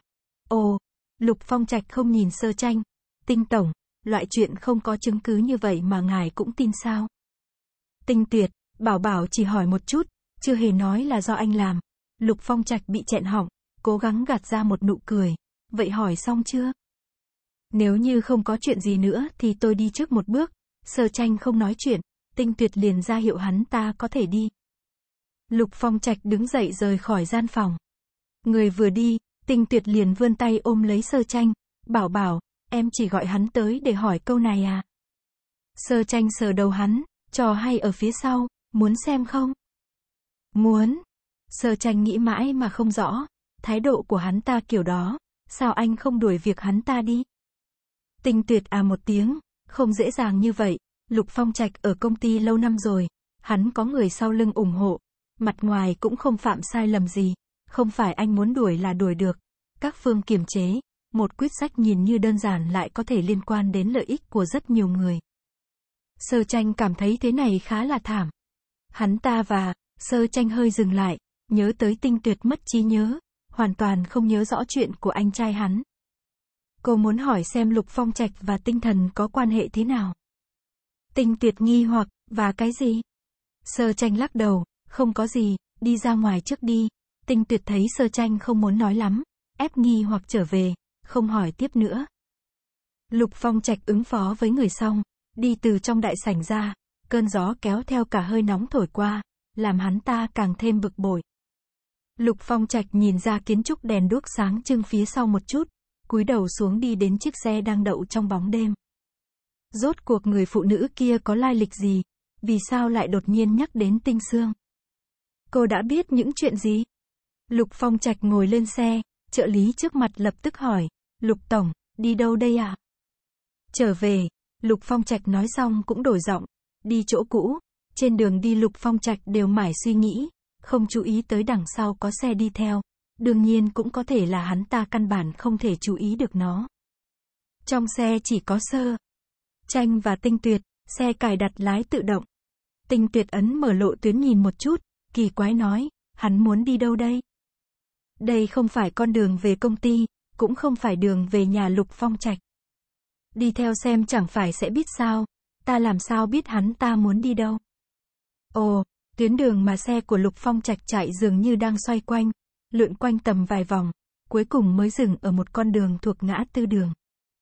Lục Phong Trạch xuống xe, chiếc xe kia nhanh chóng lái đi, trên đường chỉ còn lại một mình Lục Phong Trạch. Con đường này xe lui tới không nhiều. Lục Phong Trạch đợi đến khi xe hoàn toàn đi hết, mới đi tới lối đi bộ, rồi đi một mạch đến chỗ bụi cây trên lối đi bộ. Kiểu như không nhìn thấy lùm cây trước mặt, muốn đâm vào đó luôn vậy. Trong lòng tinh tuyệt vừa hiện lên suy nghĩ cổ quái, bên kia lục phong trạch đột nhiên không thấy tăm hơi đâu nữa. Đột nhiên biến mất giữa hư không. Anh nhìn lầm. Tinh tuyệt quay đầu hỏi sơ tranh, sao hắn lại biến mất rồi? Không có. Sơ tranh đẩy cửa xe ra xuống dưới, đi đến gần chỗ lùm cây nhìn một chút. Tinh tuyệt một đường theo tới, nhỏ giọng hỏi, bảo bảo, vừa rồi xảy ra chuyện gì? Sơ tranh sờ sờ lùm cây, là xúc cảm chân thật. Sinh vật không biết có thể truyền tống tương đối ít thấy. ca một của vấn tiên lộ là con có năng lực mạnh nhất trong số những sinh vật không biết trước mắt phát hiện được. Nơi này không có linh trị dao động, là cần điều kiện đặc biệt mới có thể khởi động. Hay là những thứ khác? Sơ tranh kéo tinh tuyệt ra phía sau, cô lấy từ trên người ra một cái bình nhỏ, trực tiếp mở nắp bình ra, để dưới đất. Điểm sáng lóng lánh trong bình bắt đầu bay ra ngoài. Gió phất qua lùm cây, lá cây ma sát phát ra tiếng sàn sạt. Điểm sáng dần dần bay cao, lắc lư trái phải trong không khí, có loại được tự do, có xu thế muốn chảy. Sạt sạt sạt, tiếng lá cây ma sát càng thêm lớn hơn. Điểm sáng bị kinh sợ, đột nhiên vọt về phía nơi xa.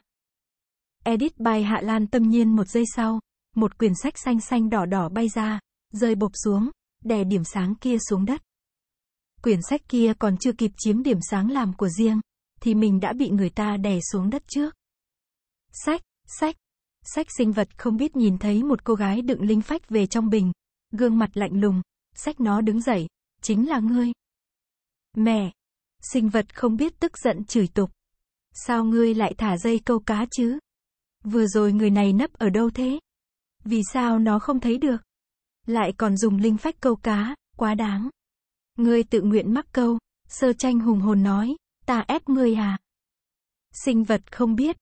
Sinh vật không biết xoay tới xoay lui, dáng vẻ của nó mặc dù là sách, nhưng cũng không phải là thể rắn, nó có thể biến đổi được. Sơ tranh không thích bắt sinh vật không biết lắm, thứ đồ chơi này sờ tới sờ lui thật sự không được tốt lắm. Một cục sền sệt, y như cục bùn. Đẹp một chút thì còn tốt, nếu nhan sắc không đủ cao, vậy thì cũng chẳng khác gì bắt một đống phân cả. Đáng tiếc cho dù sinh vật không biết vạn mình thành bánh quai trèo, cũng không thể chạy thoát khỏi tay sơ tranh. Sinh vật không biết khôi phục dáng vẻ sách, ngươi, ngươi muốn làm gì? Sơ tranh, người vừa rồi truyền tống đi đâu? Sinh vật không biết giả vờ ngây ngốc, chỗ nào có người, ta không nhìn thấy, Sơ tranh híp mắt lại, giọng nói âm trầm, không nhìn thấy. Sinh vật không biết chỉ cảm thấy xung quanh bỗng nhiên trở nên nguy hiểm, làm nó theo bản năng muốn tìm một chỗ trốn đi. Mấy phút sau, tinh tuyệt cũng bị âm thanh kia làm chấn động đến mức lui về phía sau, gian nan nuốt một ngụm nước bọt. Sinh vật không biết gào như kiểu có ai chọc tiết nó vậy. Sơ tranh vặn nó thành bánh quai trèo, nhìn như cũng không nhiều dùng sức, nhưng sinh vật không biết gào rất thê thảm. Ta nói, ta nói, ngươi dừng tay. Sinh vật không biết gào đến mức giọng cũng biến đổi. Nói, ngươi thả ta ra trước, ngao. Ta nói ta nói. Sinh vật không biết không dám cò kè mặc cả nữa, vội vàng nói ngay. Sinh vật không biết này quả thật có năng lực truyền tống, người kia bị truyền tống đi rồi. Nó bị người ta để ở chỗ này. Nhưng người kia là ai thì nó cũng không biết, chỉ là mỗi tháng đều sẽ cho nó linh phách làm thù lao. Nơi này chỉ có người vừa rồi mới tới, ta chưa từng truyền tống người khác. Sinh vật không biết bị sơ tranh làm sợ, yếu ớt hỏi, có thể, thả ra ta không? Nó cảm giác như mình sắp chết rồi. Sơ tranh sách sinh vật không biết lên rũ rũ, bản thể vặn thành bánh quai trèo lập tức khôi phục dáng vẻ sách. Mang ta đi. Sinh vật không biết cân nhắc đến cái mạng nhỏ của mình, không có chút phần thắng nào để mà phản kháng. Cho. Nên nó quyết định cúi đầu trước thế lực ác, cũng chuẩn bị làm xong là chạy ngay. Năng lực truyền tống của sinh vật không biết này hoàn toàn không so được với K1. Nó chỉ có thể truyền tống đến vị trí trong tầm 2 cây số. Vị trí truyền tống ra là một con ngõ nhỏ rất vắng vẻ, bị mấy tòa nhà cao tầng kẹp ở giữa, vừa vặn cho một người thông qua. Ngươi không chơi ta đấy chứ? Sinh vật không biết, không dám không dám, chính là chỗ này, lần nào ta cũng truyền tống đến đây, sau đó thì ta không biết nữa, nó chỉ phụ trách truyền tống, những chuyện khác đều không liên quan đến nó. Sinh vật không biết muốn chạy, bị sơ tranh giơ tay đè lại, cực kỳ thô lỗ nhét vào trong một cái bình nhỏ. Dựa theo sự cẩn thận của kẻ sau màn, tìm một chỗ làm trung chuyển cũng không có gì lạ. Sơ tranh nhét bình nhỏ vào trong túi, lấy người máy ra, làm việc, dẫn đường, người máy lăn lộn làm nũng trong tay sơ tranh. Tối quá, người ta không muốn đi, ngài ôm người ta đi, sơ tranh trực tiếp ném nó xuống đất. Người máy. Người máy hừ một tiếng, nhanh như chớp lăn đến bên cạnh tinh tuyệt, anh ôm người ta đi. Tinh tuyệt nhìn sơ tranh một chút, nhặt người máy lên bưng lấy. Người máy biểu thị mình cũng biết dỗi, bắt đầu đại ngôn bất sàm buông lời, hừ, ta muốn đổi ngài đi. Mi còn la lối nữa thử xem. Người máy chỉ vào một phương hướng, thúc giục tinh tuyệt, đi đi đi, đi mau, Lục Phong Trạch đẩy người chặn đường ra, trực tiếp xông vào trong biệt thự. Lục tiên sinh, tiên sinh nhà chúng tôi thật sự không ở đây. Lục tiên sinh, ngài không thể xông loạn như vậy. Lục tiên sinh, tránh ra, Lục Phong Trạch hoàn toàn không để ý đến ngăn cản, tìm từng tầng từng tầng một.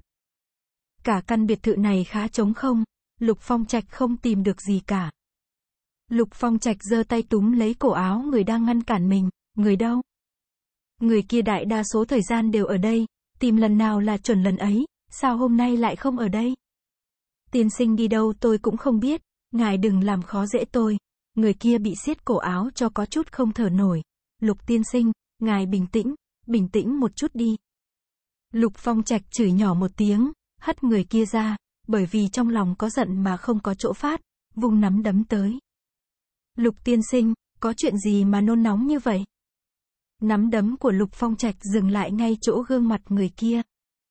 Lục Phong Trạch ngẩng đầu nhìn lên, một người đàn ông áo quần sạch sẽ đứng ở trên lầu, trên mặt đeo mặt nạ dữ tợn, chỉ có thể nhìn thấy một đôi mắt đen nhánh.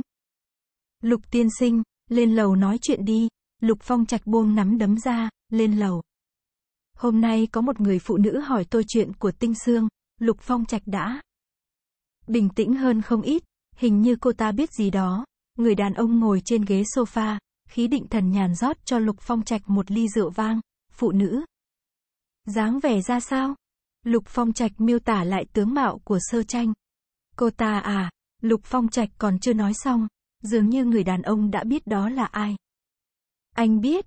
Đương nhiên là biết, Lục Phong Trạch nhíu mày, cô ta đột nhiên chạy tới hỏi tôi việc này, có phải cô ta biết cái gì rồi không? Quan hệ của cô ta và Tinh Tuyệt, còn không bình thường, cho tới giờ hắn ta cũng không hề biết Tinh Tuyệt có bạn gái. ít nhất là lúc trước không có, vậy người bạn gái này từ đâu xuất hiện? Người đàn ông, cô ta chưa hỏi anh chuyện đó, thì còn làm gì nữa? Lục Phong Trạch, không làm gì nữa, chỉ hỏi mỗi câu đó. Người đàn ông bỗng nhiên đứng dậy đi đến bên cửa sổ, nhìn ra bên ngoài. Bên ngoài im ắng, chỉ có đèn đường sáng rỡ, trong bóng đêm u ám, giống như có thứ gì đó đang ẩn núp. Khi anh đến đây có gặp phải chuyện gì không? Không.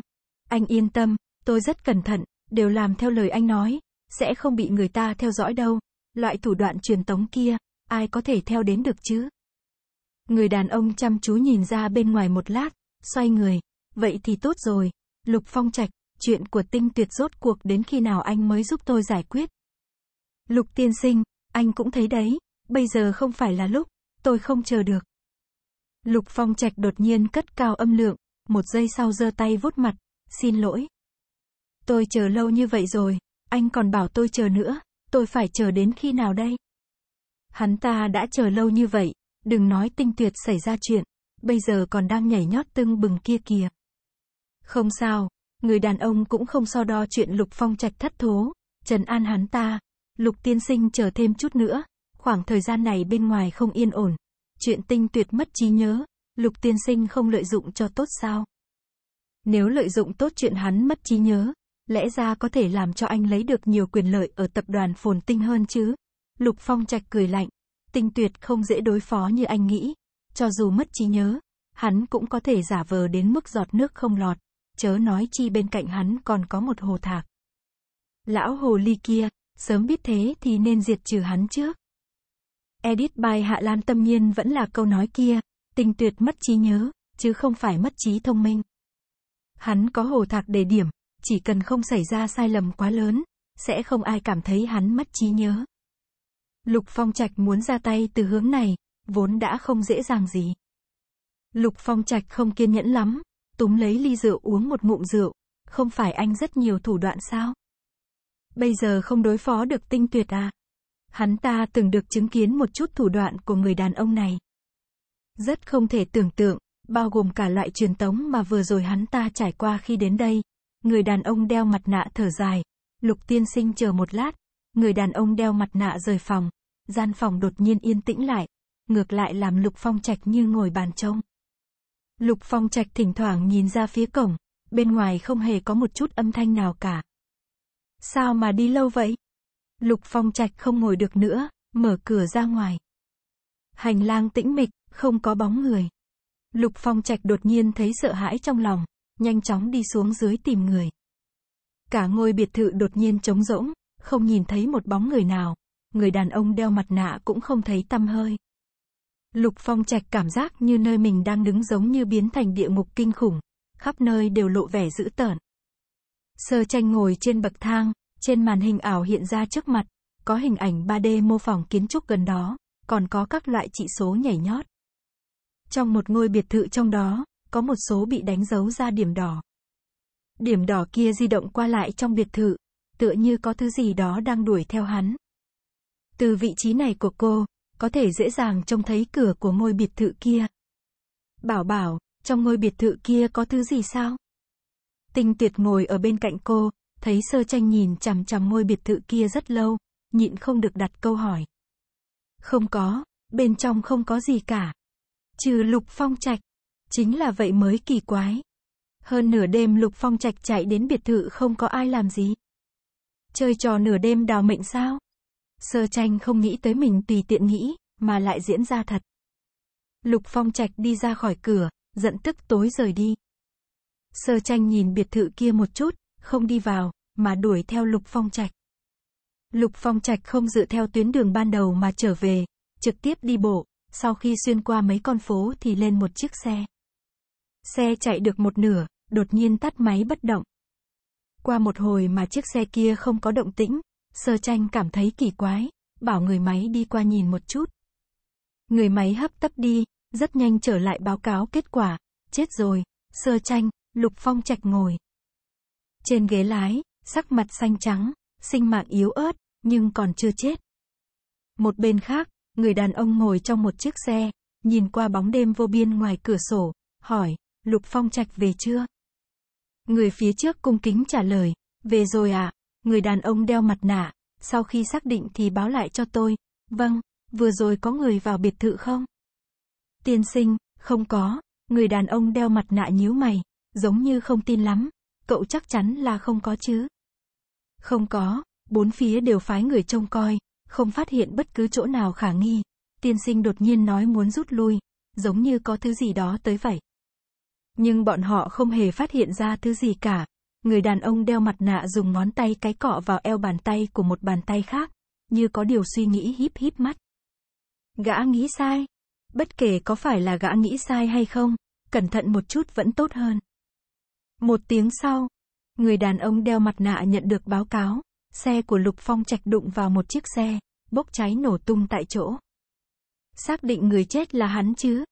Xác định, đối phương đưa tư liệu cho người đàn ông đeo mặt nạ, bên trong có ảnh hiện trường, còn có đối chiếu DNA.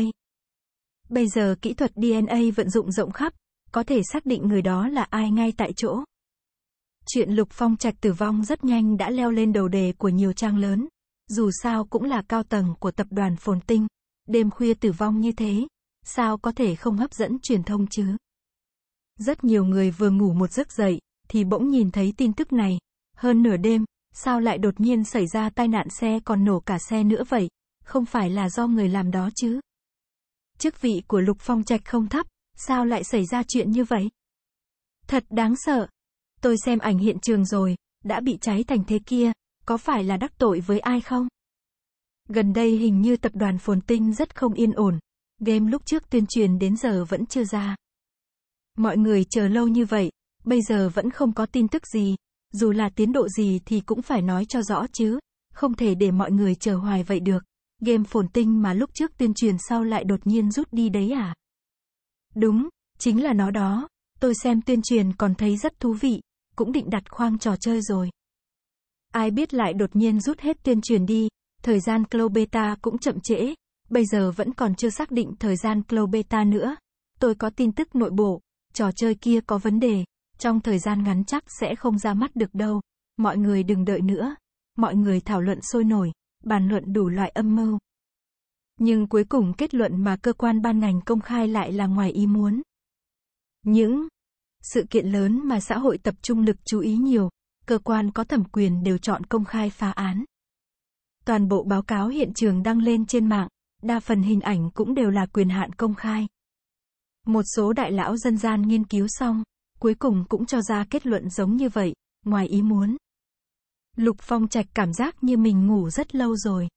Xung quanh rất lạnh, thân thể cứng ngắc, mỗi lần muốn tỉnh lại, làm cách nào cũng không mở mắt ra nổi, sau đó tiếp tục rơi vào trạng thái ngủ say. Mê man không biết bao lâu, cuối cùng Lục Phong Trạch cũng có thể mở mắt ra. Lọt vào trong tầm mắt chính là một mảnh ánh sáng trắng xóa. Ánh sáng kia gai mắt đến mức đâm cho mắt hắn ta sưng ê ẩm, một hồi lâu sau mới thích ứng được. Chờ mắt Lục Phong Trạch thích ứng được với ánh sáng kiểu này, thì mới phát hiện mình nằm trên mặt đất, mà không gian xung quanh hắn ta tạo thành từ tia sáng giao thoa. Không gian tầm 10 mét vuông, trừ hắn ta ra thì không có bất cứ thứ gì nữa cả. Đây là nơi nào? Vì sao hắn ta lại ở đây? Lục Phong chạch che lấy cái đầu căng đau ngồi dậy, hắn ta nhớ rõ người đàn ông kia đột nhiên biến mất, hắn ta đi ra khỏi biệt thự, lên xe rời đi, chuyện sau đó thì không nhớ được gì nữa. Cho nên đây là nơi nào?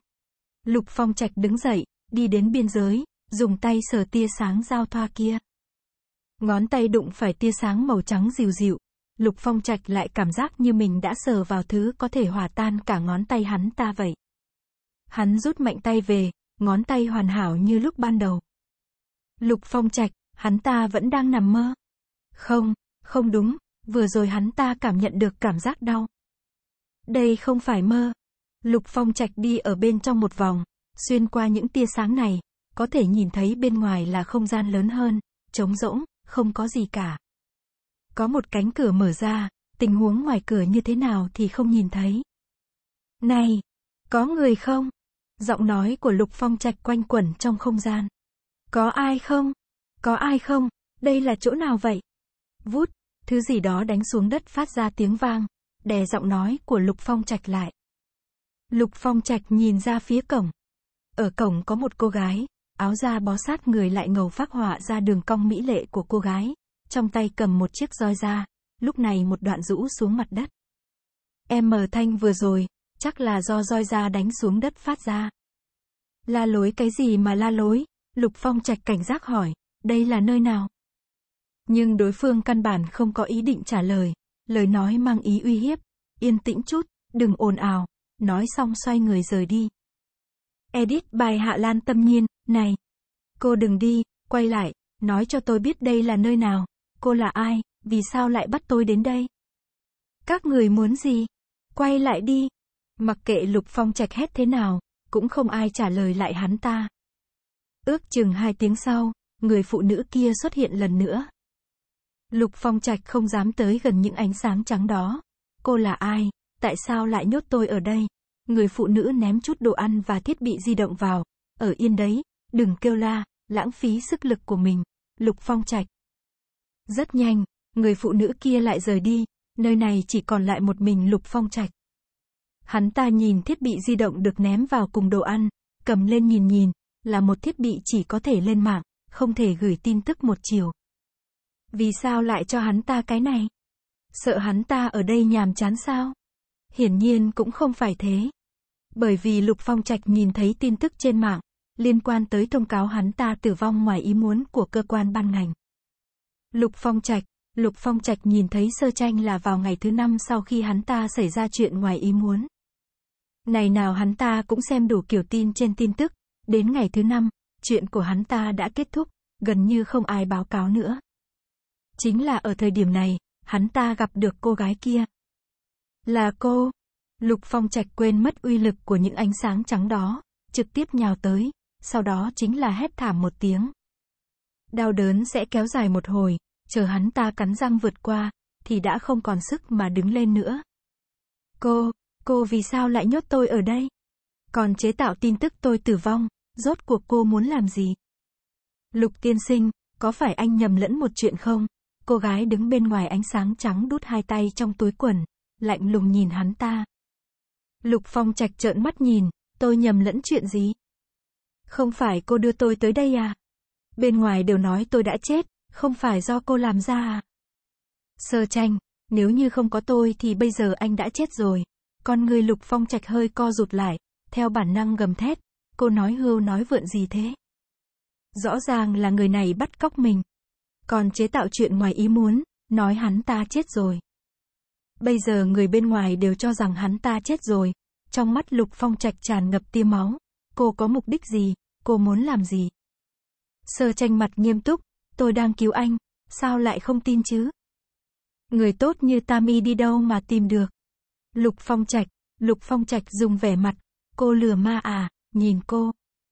Sơ tranh cũng không tức giận. Anh đã quên chuyện xảy ra cuối cùng rồi à?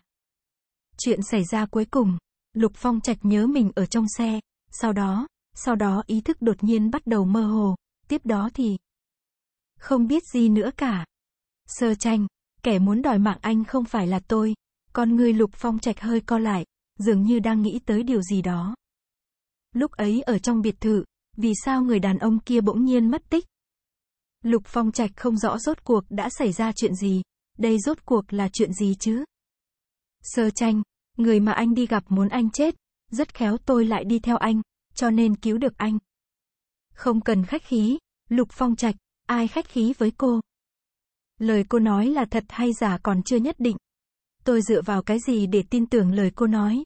Một người phụ nữ xuất hiện bên cạnh tinh tuyệt, sao hắn ta có thể tin tưởng lời cô nói? Sơ tranh rất không để ý, anh có tin hay không cũng không. Lục Phong Trạch bị ba chữ, không quan trọng, hung hăng đập cho. Cũng không biết Lục Phong Trạch có tin lời sơ tranh nói không, cho dù lời cô nói là thật, vậy thì cô muốn làm gì? Vì sao lại bắt tôi đến đây? Tôi nói rồi, cứu anh, cứu tôi. Nhốt tôi ở loại nơi này. Cứu hắn ta không nên báo cảnh sát hoặc là những cách khác sao? Nhốt lại mà gọi là cứu.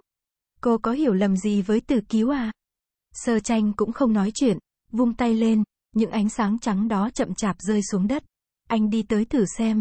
Lục Phong Trạch nhìn tất cả ánh sáng trắng biến mất ở mặt đất, vẻ mặt ngưng trệ trong chốc lát. Hắn ta cũng đã từng thấy loại thủ đoạn kỳ kỳ quái quái giống vậy ở chỗ người đàn ông kia.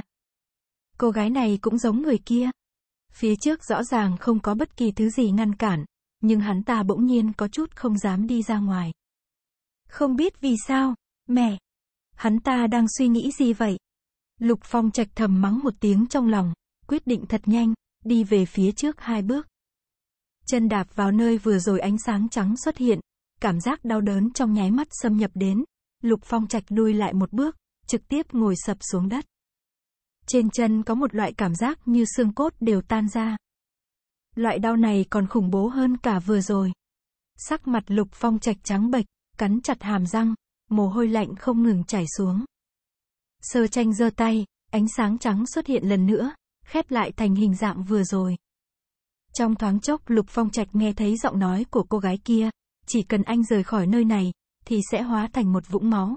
Đúng, cảm giác đau vừa rồi tựa như cảm giác da thịt tách rời, xương cốt hòa tan. Nếu như lời cô nói là sự thật, thì Lục Phong Trạch cũng đã hiểu vì sao cô nói hắn ta có tin hay không cũng không quan trọng.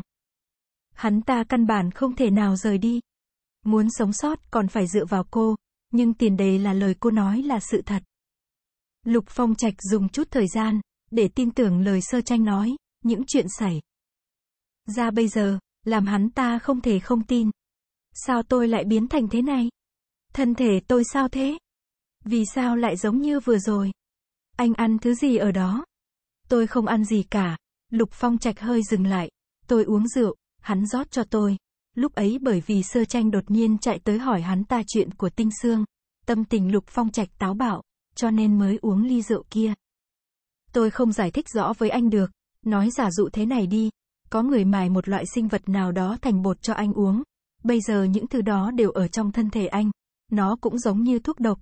Hơn nữa là thuốc độc mà y học hiện tại không cách nào cứu chữa được. Lục Phong Trạch. Lục Phong Trạch đột nhiên nhớ lại. Lúc ấy trước khi hắn ta mất đi ý thức, thân thể có chỗ không đúng. Người kia thật sự giết hắn.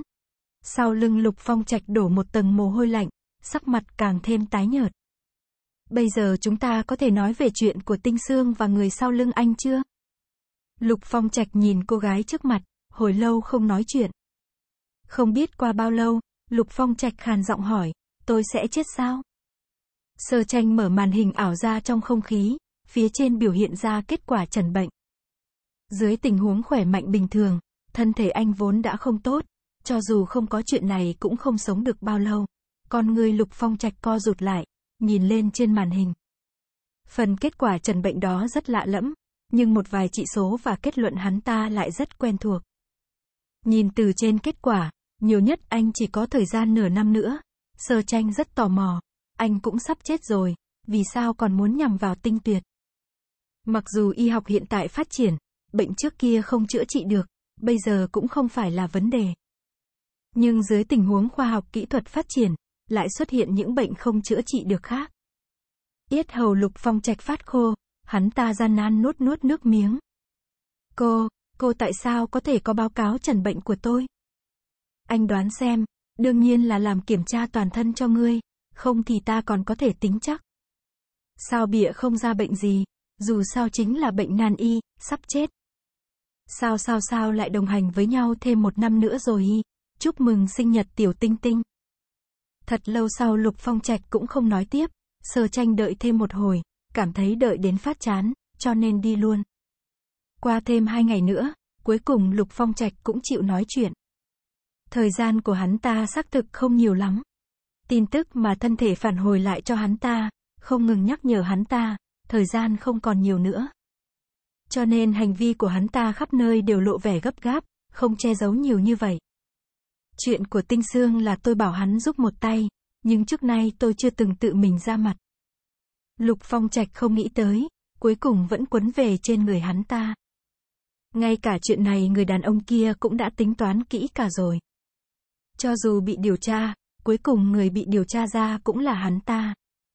Về phần người kia phân phó người đi làm việc như thế nào, hắn ta cũng không biết, hắn ta chỉ thấy kết quả. Sơ tranh ngồi trên ghế, tư thế ngồi vô cùng thổ phỉ, chuyện của tinh tuyệt cũng là do anh làm. Lục Phong Trạch lại bắt đầu trầm mặc. Sơ tranh, anh cũng đã sắp chết rồi, Bây giờ có nói hay không có gì khác nhau đâu. Lục Phong Trạch nguyết sơ tranh một cái. Sau một hồi trầm mặc thật lâu, Lục Phong Trạch nhả ra. Đúng là hắn ta muốn tinh tuyệt chết. Tinh gia bây giờ chỉ có hai người thừa kế, một là tinh tuyệt, người còn lại là tinh xương. Tinh kiều, không nói đến chuyện thằng bé là con của con riêng, thì chỉ với tuổi tác ấy cũng chẳng tạo thành uy hiếp gì. Hắn ta và tinh sương không có thù gì, tất nhiên không cần thiết phải trực tiếp giết chết. Hơn nữa cô ta không chết mà chịu sự khống chế của mình, thì lại càng có lợi cho mình hơn. Lục Phong Trạch cũng không biết chuyện sống nhờ. Hắn ta chỉ nghe từ người kia, nói có thể làm cho đối phương nghe lời. Dù sao Lục Phong Trạch cũng đã được chứng kiến một chút thủ đoạn của đối phương, tự nhiên sẽ tin tưởng. Người kia là ai? Sơ tranh hỏi ra câu mấu chốt. Lại là trầm mặc. Nhưng lần này không quá lâu, Lục Phong Trạch cũng không tính là một kẻ cất giữ bí mật mà tự giết chết bản thân mình. Nhưng mà, không biết, tôi chưa từng thấy mặt thật của hắn, hắn luôn đeo mặt nạ, người đàn ông kia chưa từng tháo mặt nạ xuống, địa điểm gặp mặt hầu như cũng là ở trong ngôi biệt thự kia. Tên thì sao? Người bên cạnh hắn đều gọi hắn là tiên sinh, không biết hắn tên là gì. Sơ tranh rất kinh ngạc, một người đến cả tên cũng không biết, chưa từng nhìn thấy dáng vẻ thế nào mà anh cũng dám tin. Lục Phong Trạch kéo khóe miệng cười, có chút trào phúng, lại có chút mất mát, khi cô đứng trên một tảng băng vụn, mắt thấy sắp chìm xuống đến nơi rồi, bên cạnh có một chiếc thuyền, người trên thuyền nói với cô, chỉ cần tin tưởng hắn mới có thể sống sót, cô chọn đánh cược một lần leo lên chiếc thuyền kia, hay là lựa chọn chìm xuống. Lục Phong Trạch không đợi câu trả lời này, tự mình nói ra đáp án, tôi chọn leo lên chiếc thuyền kia. Cho dù bây giờ xảy ra chuyện như vậy, tôi cũng lựa chọn giống vậy. Sơ tranh từ chối cho ý kiến, rút một tờ giấy ra, vẽ lên một cái ký hiệu, cho Lục Phong Trạch nhìn. Từng thấy cái này chưa? Lục Phong Trạch trông thấy ký hiệu, sai viết hoa, vẽ trên giấy, hắn ta gật đầu, thấy rồi. Biết có ý gì không? Lục Phong Trạch chỉ thiếu trợn mắt trường sơ tranh một cái. Sao tôi biết nó có ý gì được? Chắc là tiêu chí thôi. Trên quần áo của người bên cạnh người kia có cái này. Sơ tranh, phế vật, sơ tranh hỏi ra một vấn đề quan trọng. Tại sao anh lại muốn hại tinh tuyệt? Lần này sau khi Lục Phong Trạch trầm mặc, thì rốt cuộc không hề nói chuyện nữa, cũng xoay người, đưa lưng về phía sơ tranh. Ý tứ rất rõ ràng, hắn ta sẽ không nói. Lục Phong Trạch ngậm miệng không nói, nhưng sau khi sơ tranh rời khỏi đây, thì đã biết được nguyên nhân từ chỗ tinh tuyệt. Hạng mục phồn tinh, tinh tuyệt vẫn ở trong phòng làm việc, lúc này không có ai, hắn không hề có chút hình tượng nào, hai chân gác trên ghế, cằm trống lên đầu gối nói chuyện với sơ tranh. Hạng mục phồn tinh thế nào? Lục Phong Trạch là thành viên quan trọng ban đầu của hạng mục. Sơ tranh nghĩ đến tấm hình mà mình từng thấy. Tinh tuyệt vừa lật văn kiện bằng chất giấy trên bàn, vừa nói với sơ tranh. Những thứ này đều không ghi chép vào hồ sơ điện tử. Anh bảo Hồ Thạc đưa tất cả tư liệu của hạng mục phồn tinh cho anh, trông thấy trong hồ sơ giấy. Vừa rồi tinh tuyệt đã hỏi Hồ Thạc, Hồ Thạc cũng không biết chuyện Lục Phong Trạch còn từng tham dự vào hạng mục phồn tinh, lại là thành viên quan trọng nữa. Hồ Thạc tiếp nhận hạng mục phồn tinh đã là chuyện rất lâu về sau. Cho nên hắn không biết rõ tình hình cũng có thể hiểu được. Anh hỏi mấy nhân viên tham dự từ lúc đầu, bọn họ thì có biết Lục Phong Trạch. Lục Phong Trạch rời khỏi hạng mục phồn tinh là sau khi triệt để phá được cửa ải khó khăn về kỹ thuật không bao lâu. Tinh thần là sau khi thái tử gia tinh tuyệt lên đài, mới được phân đến công ty con. Hạng mục phồn tinh cũng là lúc ấy mới dựng lên. Nhưng lúc ấy, tinh thần thuộc vào tình trạng rất gian nan, cần người mà không có người, cần tiền cũng chẳng có tiền. Chính là lúc ấy Lục Phong Trạch gia nhập vào. Lục Phong Trạch là người của tổng bộ, dựa theo lý thuyết thì sẽ không tiếp xúc đến chuyện của công ty con. Tinh Tuyệt cũng không biết hai người này quen biết thế nào. Dù sao Lục Phong Trạch tìm một tên tuổi danh chính ngôn thuận, cứ như vậy tiến vào hạng mục phồn tinh. Tinh Tuyệt trước khi mất trí nhớ có biết chuyện hay không, Tinh Tuyệt lúc này cũng không biết được. Anh cảm thấy chắc. Có lẽ anh biết, Tinh Tuyệt nói cho Sơ Tranh nghe suy nghĩ của mình. Tư liệu của hạng mục này là cơ mật tối cao, tất cả nội dung đều trực tiếp báo cáo với anh. Tinh, anh trai anh muốn thêm người vào đoàn đội chủ chốt, không thể nào không thông qua sự đồng ý của anh được. Lúc ấy chức vị của Lục Phong Trạch đã không thấp. Một người như vậy, Trừ phi là hắn đồng ý, nếu không thì sao có thể danh chính ngôn thuận đi vào. Ừm, anh nói bởi vì hạng mục phồn tinh là có ý gì? Chính là trò chơi nát này, nghĩ đến vương bát đản, tâm tình sơ tranh lại có chút vi diệu. Thời gian dài như vậy trôi qua, vương bát đản đều không thấy tâm hơi. Hạng mục này không chỉ là trò chơi, tinh tuyệt dừng một chút, bên cạnh em có người không? Ta. Giọng của người máy từ đầu kia truyền đến. Mi không tính. Sao ta lại không tính? Người máy cũng là người, câm miệng, tinh tuyệt nghe sơ tranh và người máy cãi nhau, nhịn không được bật cười. Sơ tranh chấn áp người máy xuống, đáp lại tinh tuyệt, không có ai, anh nói đi. Anh tới tìm em đi, tinh tuyệt nói, một hai câu không nói rõ ràng được, đương nhiên quan trọng hơn là anh nhớ bảo bảo rồi. Sơ tranh, cuối cùng tinh tuyệt không đến tìm sơ tranh, sơ tranh qua tìm hắn. Văn phòng của tinh tuyệt chiếm diện tích cực lớn, sơ tranh đi vào thì bị người ta ôm lấy, đè trên tường thủy tinh. Người, bên ngoài không nhìn thấy, tinh tuyệt thấp giọng nói. Sơ tranh nhớ tới lúc đi vào, nhìn từ bên ngoài đúng là tường không phải thủy tinh. Tinh tuyệt cúi đầu hôn cô. Mấy ngày nay sơ tranh không hề đến trang viên, nhưng thời gian gặp mặt tinh tuyệt cũng nhiều. Nhưng lần nào tinh tuyệt cũng rất chủ động nhiệt tình, giống như một ngày không gặp chính là cách một thế kỷ vậy. Lúc đầu sơ tranh còn muốn cầm nắm chủ quyền, sau đó thì dứt khoát tùy theo hắn luôn. Dù sao có đôi khi rất mệt mỏi, nhưng hưởng thụ loại chuyện này, cô cũng sẽ không từ chối. Tinh tuyệt giải được chút nỗi khổ tương tư rồi, ôm sơ tranh ngồi trên ghế sofa, nói cho cô nghe về kế hoạch phồn tinh. Đúng vậy, là kế hoạch. Hạng mục trò chơi phồn tinh chỉ là một phần nội dung trong kế hoạch này mà thôi. Sơ tranh nghe xong rút ra được hai tin tức quan trọng trong đó. Lợi dụng khai phá hệ thống thần kinh con người và AI có được ý thức của mình.